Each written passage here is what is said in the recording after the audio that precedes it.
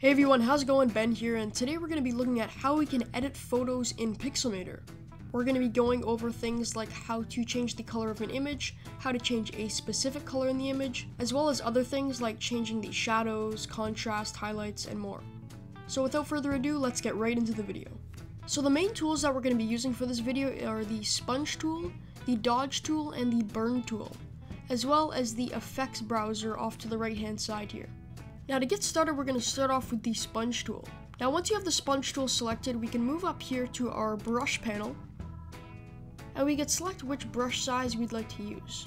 I personally like using a large, soft brush size. Now if it's soft, it's going to blend in with the image much more, so you want to select something that's sort of blurred on the edges out here. Now once we select a soft brush, we can change our mode. We can either saturate our image, which is going to add more color, or we can desaturate our image which is going to take away color.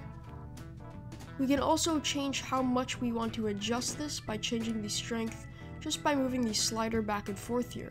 So we are just going to bring our cursor down here and we're just going to try dragging over these mountaintops right over here.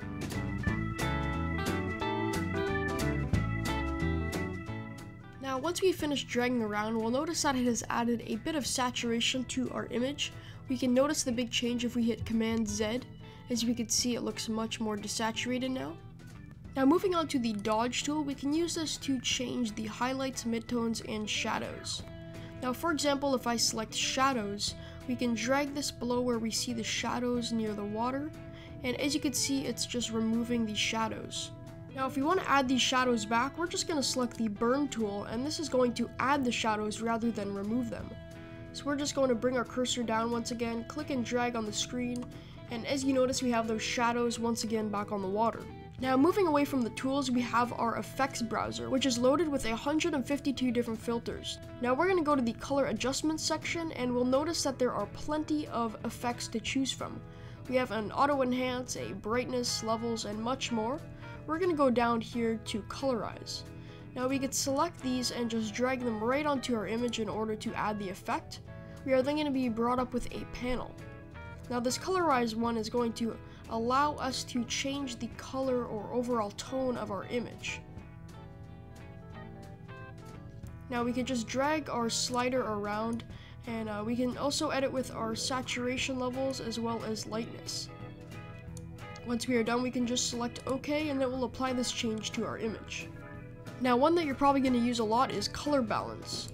Now with color balance, we're allowed to add slight tints to our images such as increasing the blues up or maybe adding a bit of pink to our image.